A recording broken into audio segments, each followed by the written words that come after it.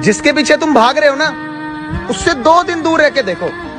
बात करना तो दूर, वो तुम्हें याद तक नहीं करेगा। कैसे तेरी खुद